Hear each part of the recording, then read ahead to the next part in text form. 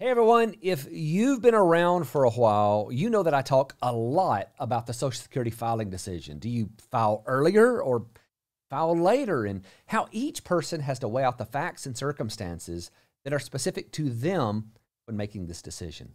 The truth is, there are benefits to filing early and benefits to filing later. And the inverse is also true, where there are risks to filing early and those risks to filing later.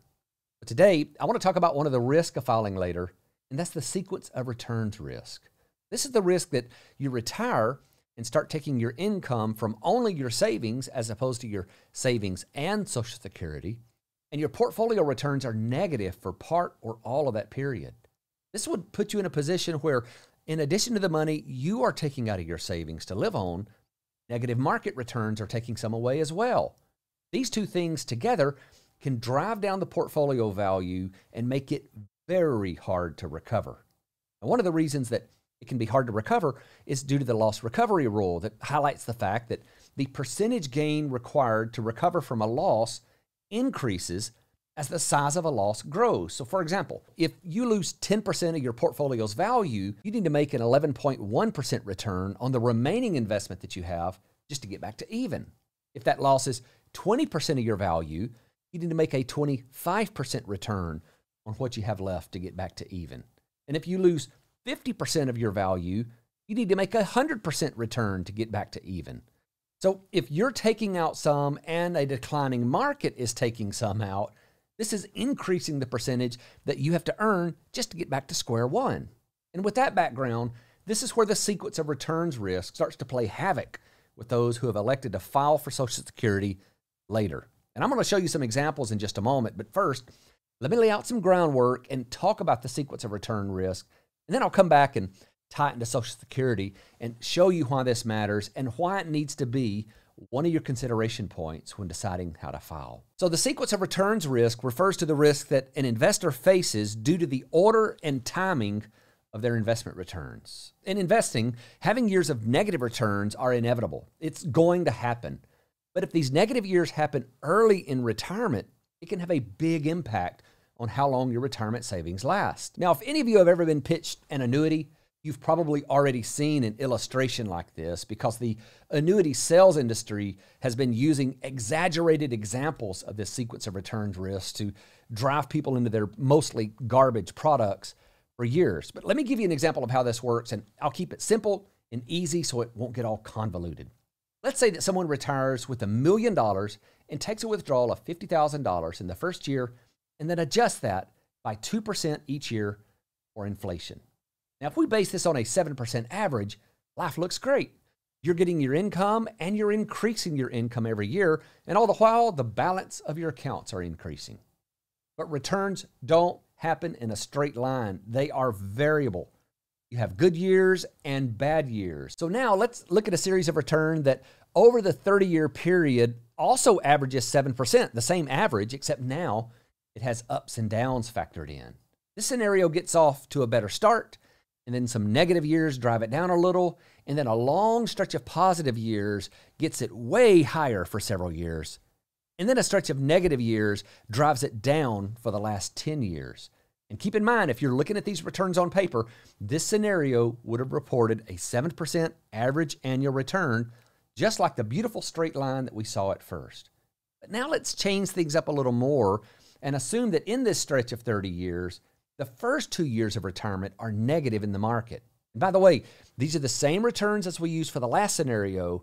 I just put two negative years at the first and then randomized the rest of them.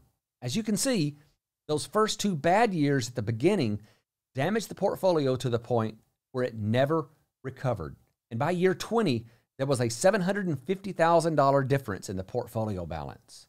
Now, I know this is eye opening if you've never looked at these numbers this way, but let's add even another layer to it. Let's factor in Social Security, where someone was going to retire at 62 and delay filing until 70. This means that the drawdown will be greater in those years from 62 to 70.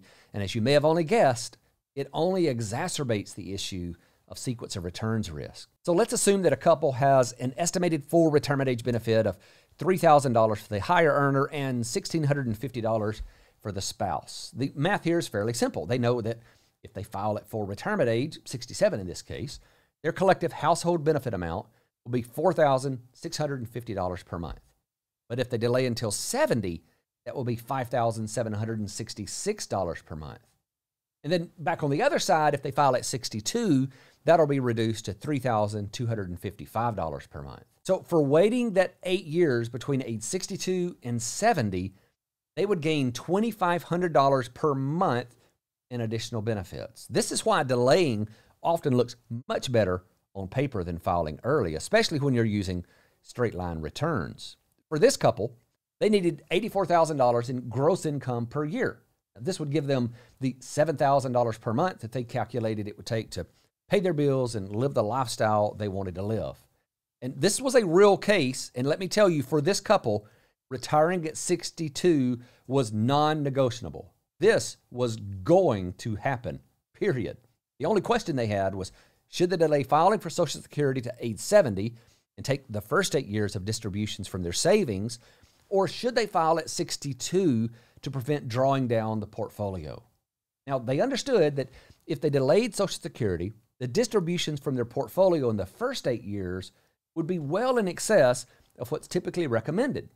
But then later, their distribution rate should come down well under what's recommended. At least that was their thought, and they wanted to see how this would work out on paper. So the first thing I showed them was a projection of their retirement income with a 2% inflation rate added in.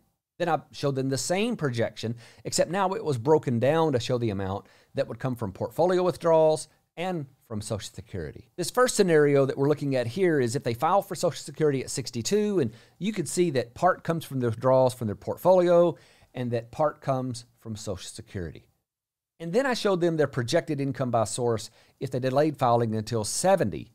So you can see that at age 70, the portfolio distributions dropped drastically because now Social Security was making up a majority of their income. So this is how their income would be structured in these two scenarios. And now that we know this, it's time to test market returns on these scenarios and see how the portfolio balance is held up.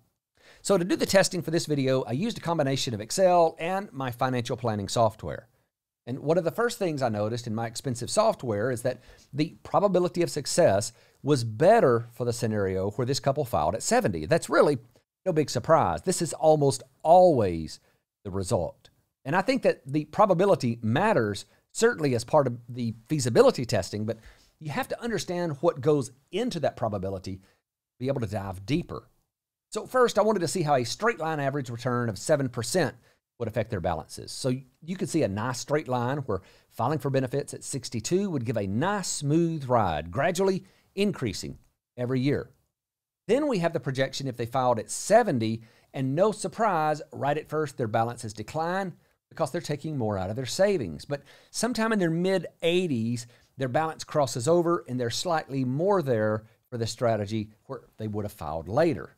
But as we've already discussed, Returns don't happen in a straight line. So let's look at what happens to balances if we still use a 7% return average, but we have some high years and low years to get there. And then in addition, to fully examine the sequence of returns risk, let's assume that the first two years are bad. Now, I'm not talking about real bad, just a negative 21% in the first year and a negative 16% next year. I know that sounds bad, and it really is, but we've certainly had worse periods than that. And even last year, 2022, according to Fidelity, the average IRA was down just over 23%. So I certainly think these are realistic numbers to test with. So again, the return numbers that we're showing is where it's down in the first two years. And then after that, it returns to a normal market where it's down in about one out of every four years. But keep in mind, the average is still 7%. So looking at the balance where you filed at 62, you certainly see a decline in your portfolio balance, but since your distributions aren't too high, it pops back up when the market gets back to normal. The portfolio balances for filing at 70 though is a different story. Because you have those early withdrawals that are large and a down market, it beats it down to a point where not only is recovery very difficult, but now you're down to a level where a shock in the market could result in your savings running out before you die. In fact, in this scenario, if the couple would have increased their monthly income by just $500 per month, it would have resulted in them running out of money at age 79. So, in my opinion, that's way too close for comfort. And this is the risk of using this strategy.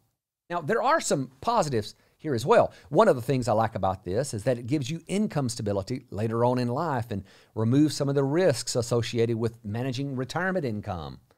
But then some would also say that it makes you dependent on a stream of payments that's outside of your control. And with the funding issue that's facing Social Security, do you really want your retirement income to be subject to the whims of politicians? Now, I know that the academics who write paper on retirement research will almost always tell you that filing later is better. And the truth is, it is often better from only the pure clinical side that examines numbers and makes no provisions for the emotions of retirement. But sometimes the emotional side of retirement planning has to be considered and not just what makes sense on paper.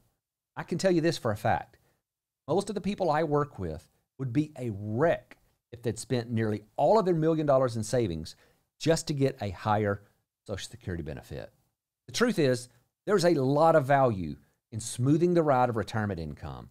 And that's why you need to test these scenarios and understand the data before you make a decision. Or maybe you're already retired and you're delaying Social Security, and the market that we had in 2022 is making you wonder if you're making the right moves. Well, if you want to get clarity and feel confident that you are making the right choices about retirement, I want you to get in touch with me and my team. Retirement income planning is what we wake up excited about every morning. My team and I know that a lot of those in my industry are just telling you the results from a software program and don't fully understand the output, how to test all the various factors.